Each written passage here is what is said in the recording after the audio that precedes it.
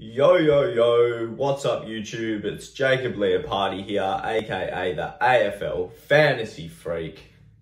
Wow, one day until round one. Ladies, gentlemen, it's time to get excited. So, in this episode, we got a bit of a special one. I'm going to be breaking down my team and going over all the players and why I've selected them. And this is also going to mark the first episode of the series that I'm starting, which is Road to Top 100. So enjoy.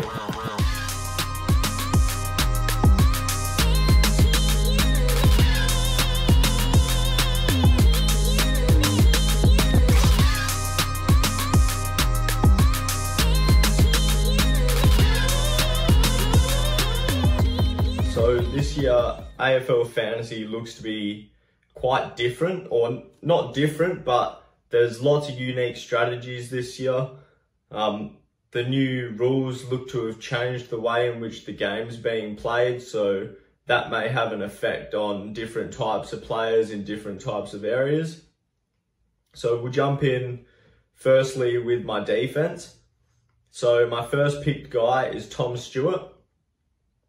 My reasoning behind this is I think that with the man on the mark rule, these halfback players that present themselves as the switch kick option, they take the kick ins, they push for handball receives. These guys are going to see an increase in points early. I think Tom Stewart is that number one guy for Geelong.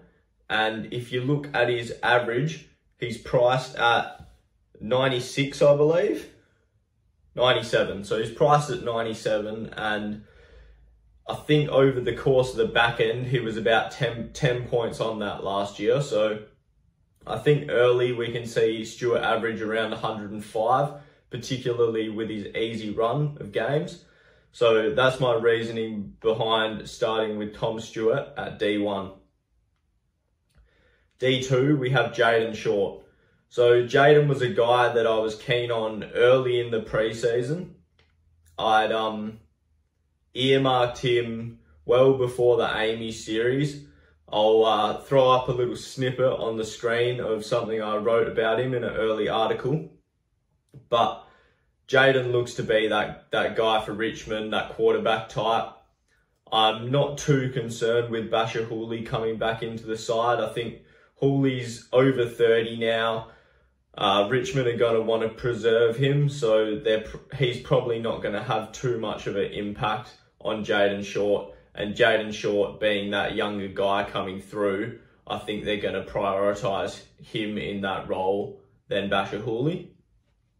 I think priced at 89, he's probably got, he's probably around that 95 to 100 range. I will note quickly though that Jayden Short is one guy that I am somewhat reconsidering with another guy, uh, being Sam Docherty. So Docherty may come into my side. I've had Docherty in and out in uh, various other guys' position during the preseason. But at the moment, I'm got Jayden Short. My next defender is Caleb Daniel. So Caleb Daniel, very much the same as the other two guys. He's that quarterback for the Bulldogs.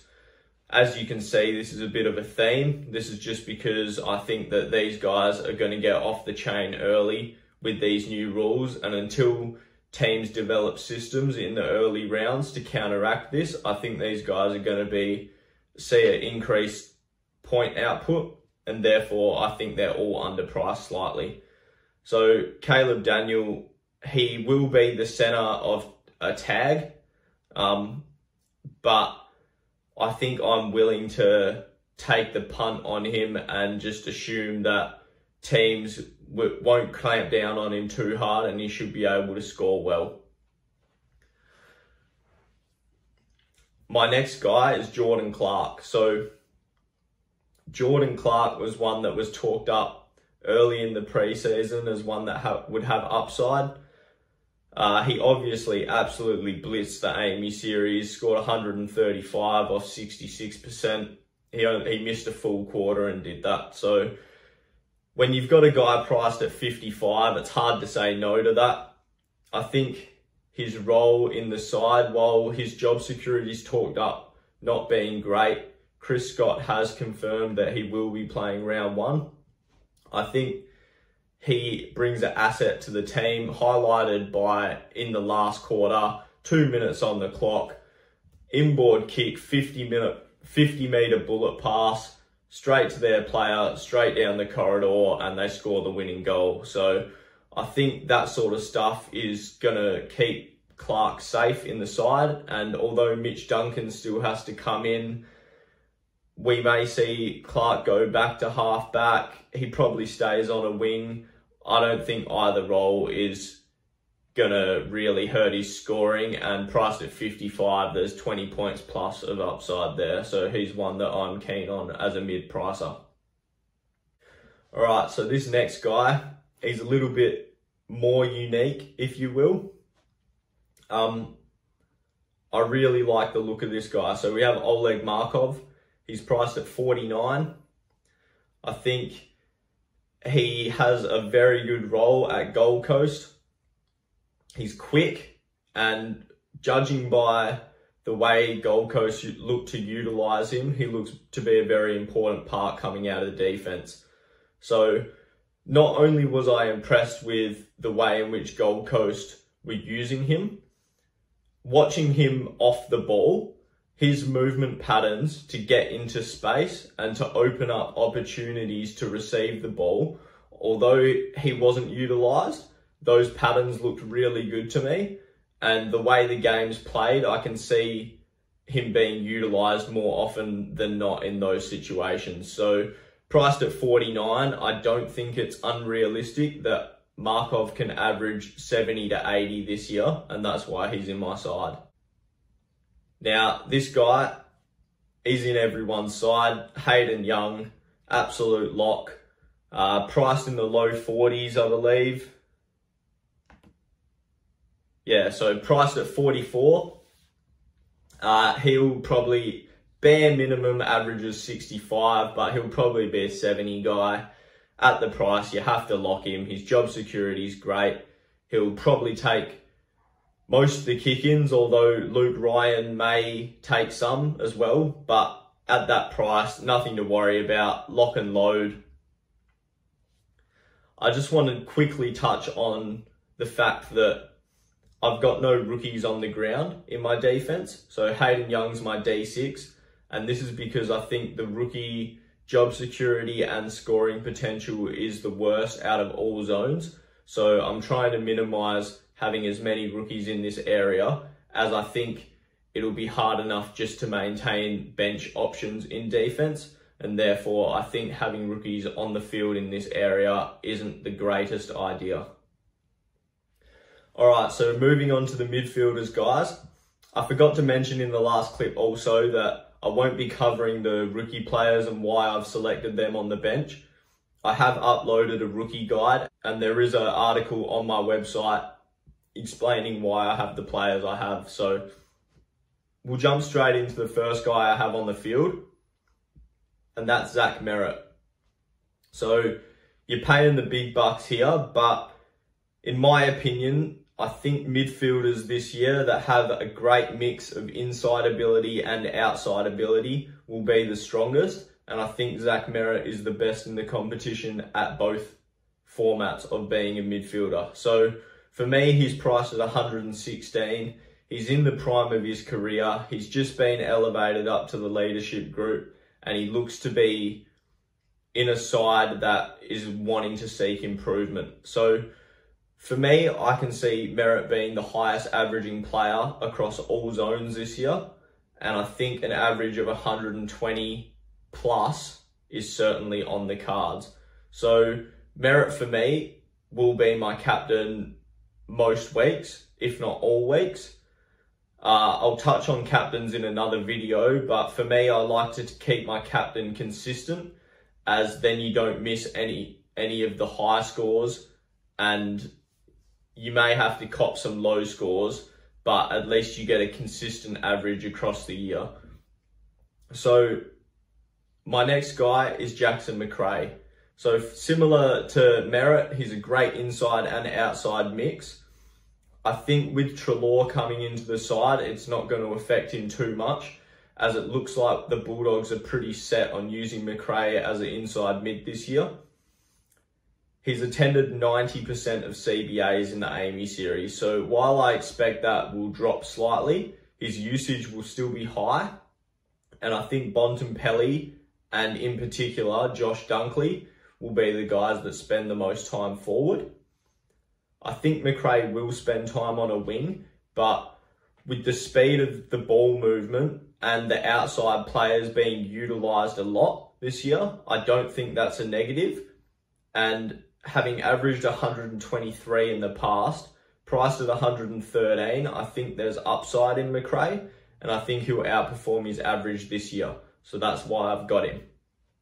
I've also got him in case I do need a backup captain option. All right, so this next guy is pretty unique. Not many people have talked about him. I've got a little bit of a soft spot for him because I owned him in the back end of last year and he performed really well. That's Ollie Wines. So Ollie Wines, Port Adelaide midfielder. I like Ollie this year despite the fact that he's only ever been that mid 90s to 100 guy for the last six years. But this year, I think Port Adelaide, very strong side. They're going to win a lot of games and they're going to beat a lot of sides by a fair margin. He's going to be the main man in that engine room. So Boak is going to spend a bit more time forward. Rockliff's getting older. They're going to rotate some guys through there, but Port are going to have to rely heavily on Wines this year to carry the side's midfield. I think in the last couple pre-seasons, he's had some injuries, he's had a few interruptions, whereas this year he's had a full pre-season, he's fully fit, he looks ready to go. And having averaged 112, I think it was, in the back end of last year, I'm expecting that Wines this year can post an average closer to the 110 mark. So that's why I've selected him. Another unique option for mine is Andrew Brayshaw. So one that's been disregarded and almost ignored this year, and for good reason. He's quite risky and he's unique, but for me, there's plenty of signs that indicate further improvement.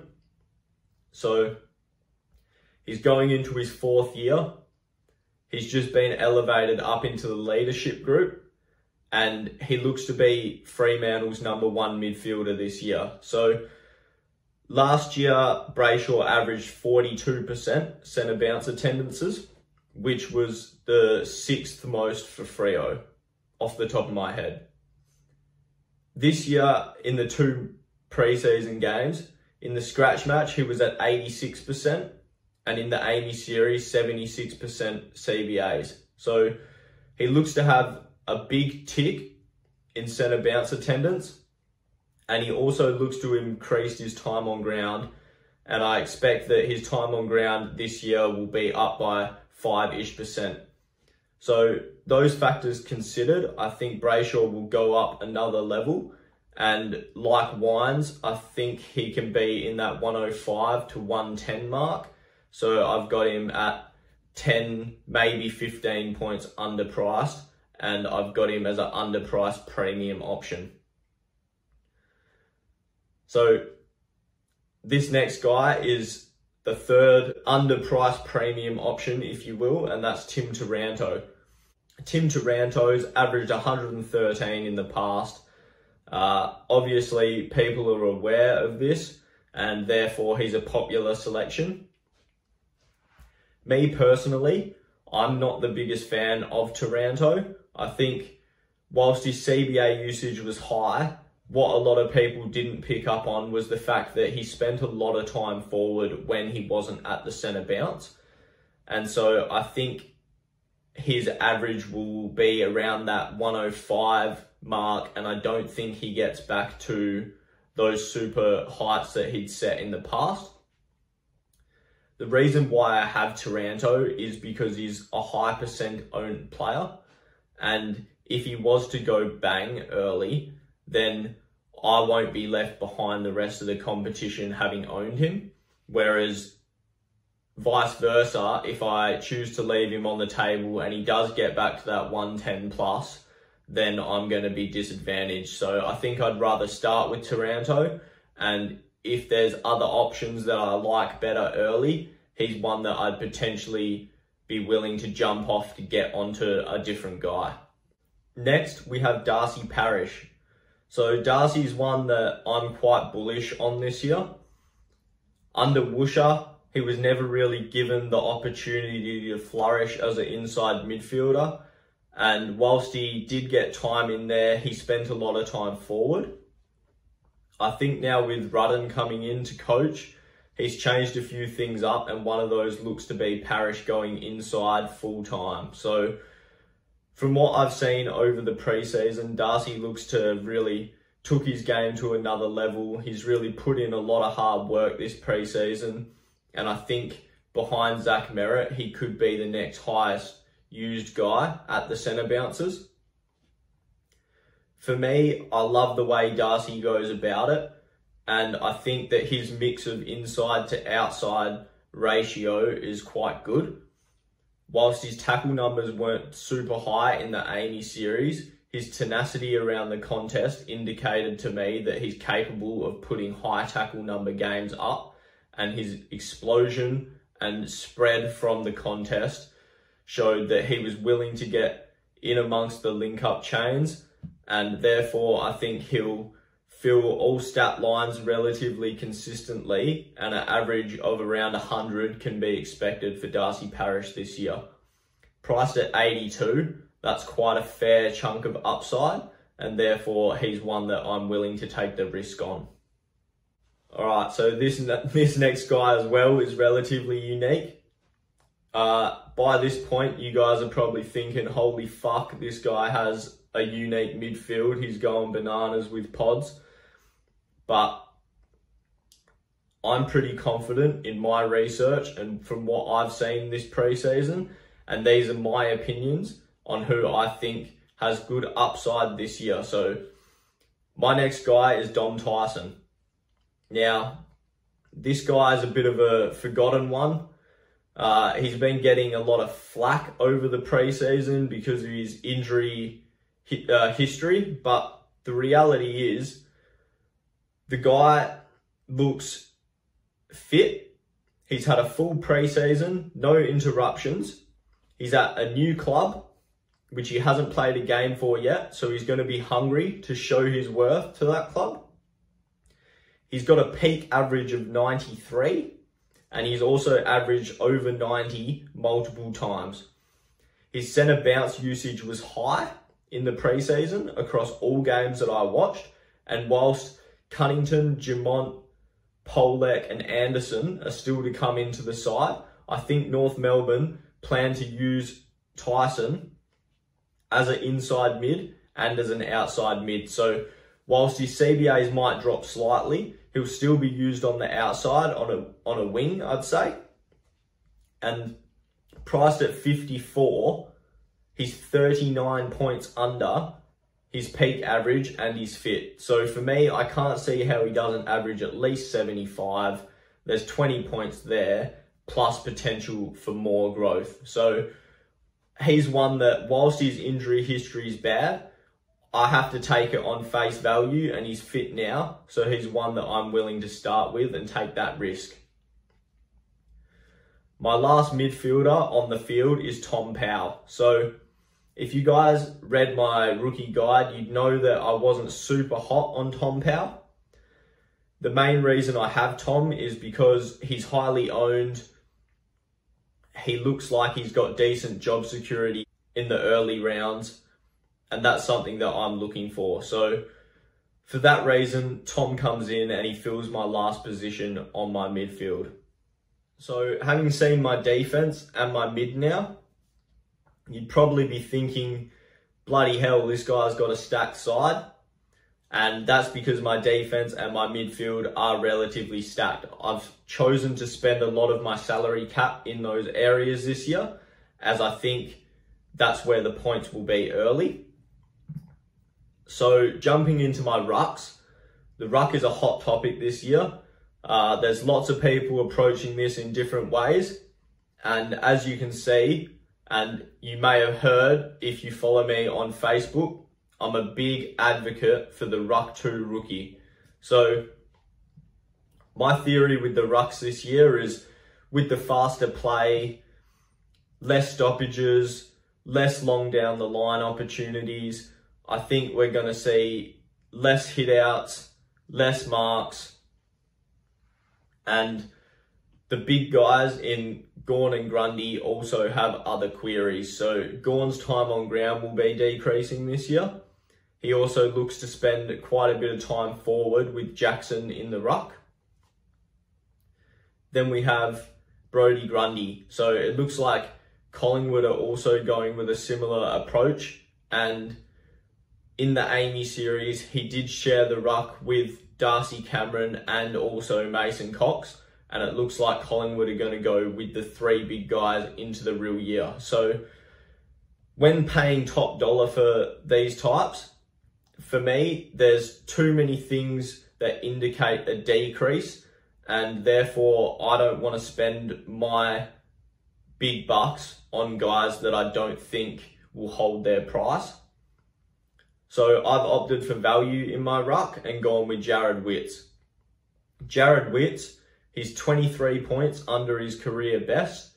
He was obviously hampered by injury last year, and so far this year, he looks to be flying. He looks to be the way in which I saw him cover the ground in the AAMI series indicated to me that he's back at full health. So even though I think Ruck's points will decrease this year, there's too much upside in Witts, so I think he still increases in value based off his starting price. Then I've gone with Matt Flynn. So controversial, but I think having the rookie ruck on the field is the way to go. It opens up so much salary cap for you to spend in other areas and invest that money into players who I think have more upside than what Gawn and Grundy present. So, for example, I've spent the same amount of coin on Jackson Macrae as what a Brodie Grundy costs. But Grundy, I think, will be around that 110 mark, whereas Jackson Macrae, I think, can get closer to 120. So that's why I've gone with the rookie on the field. I also think the rookie ruck is a safe bet. They're going to get 15 to 20 hit outs, so that's three points and they're going to have the same scoring output as other rookies. So, especially with Matt Flynn, he's the GWS number one ruck. So, his job security is going to be fantastic. And with other rookie rucks available early, such as Make, Fullerton, and Hunter, I think there's enough cover there to take that risk and generate the cash early and get to one of these bigger guys once they fall in price a bit. So jumping straight into my F1, we've got Jordan De Goey. Jordan's one that I'd almost written off completely early in the preseason. I didn't believe that his midfield minutes would be legitimate, but from what I've seen, it looks like Collingwood genuinely look to use De Goey in the midfield this year. There's slight concern over the fact that Collingwood don't have that strong of a forward line and therefore the need for De Goey playing in the forward could be real as well. But I think Collingwood are going to use other types and obviously Goey's still going to spend time forward. He's going to play that Dustin Martin type role, but I think he can still kick enough goals from the middle to be effective on the scoreboard. And based off what we saw in the AAMI series, he looks to be able to go another level when given the midfield minutes. I look at Jordan De Goey as a Christian Petracca 2.0 this year and priced at 79, I think 90 plus is not unrealistic for Jordan. So I think there's value there. And with me not liking any of the premium forward options, he's the one that I'm deciding to go with this year. F2, Tom Phillips. Not much to say here. Everyone that's interested in AFL fantasy probably knows by now that, that Tom's a, a pretty solid lock. There's Tom Mitchell to come back, Wingard will come back, Scrimshaw will come back. All these guys will be rotated through the wings and through the middle where Tom looks to play. But the reality is Tom's got a pretty firm grip on his spot in the side and I expect his scoring to be 90 plus easily. Uh, that's minimum 10 points, but he could even get to mid 90s to high 90s. So, and if he does provide that sort of value, he may even end up being good enough to be in your side come year's end. So he's one that you certainly should be starting with at the start of the year. After Tom, it drops off a little bit in terms of value of players or, or worth. So we've gone with Nick Hind at F3. I think Hind looks to be a super pick and he's one of the better mid-price value forwards this year. He looks to have that half-back role that I was talking about earlier when going over my defenders. I think this role is going to be super fantasy friendly earlier. And based off the way he played, the way Essendon looked to use him coming out of defense, he looks to be super valued, and I think his scoring will be 70 plus easily, probably closer to that 80 mark. He comes in priced at 54, so there's plenty of upside there, and he's one that I'm heavily interested in this year. He did receive a little bit of a shoulder knock, but he's been all cleared from that, so it's nothing to be concerned about.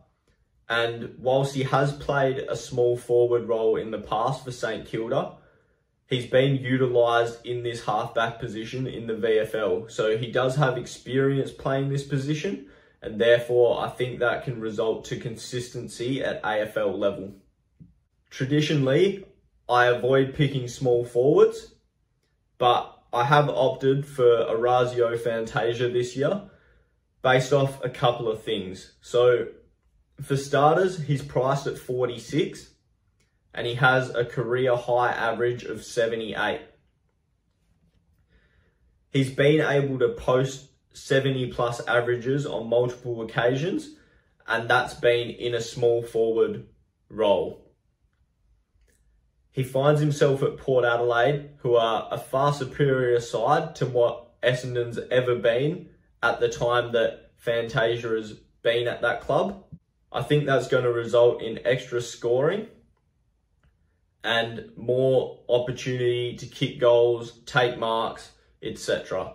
So Fantasia looks to be humming at the moment, and I can see Fantasia having a career best season this year.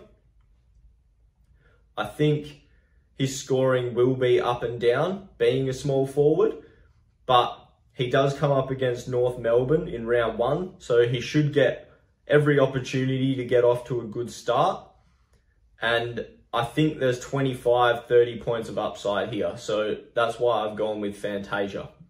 He also has that defender forward dual position, so you can swing him back if you have an unexpected injury or whatnot. He provides that extra cover for unexpected situations. My last two spots in my forward line, we've gone with Chad Warner. So over the AAMI series, Chad was the one rookie that I was most impressed with. His ability outside and inside was fantastic, and I think his job security is very high. I think he's a great asset to the Swans, and they'll want to further develop him this year. I think he's the best rookie this year, so therefore he's on my field, and I think he should be on your field as well.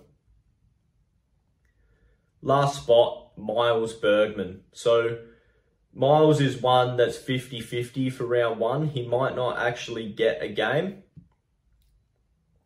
I do have plans in store if that's the case, but I think Miles has the greatest scoring potential outside of Warner in the forward rookie department. And so I've chosen to put him on the field.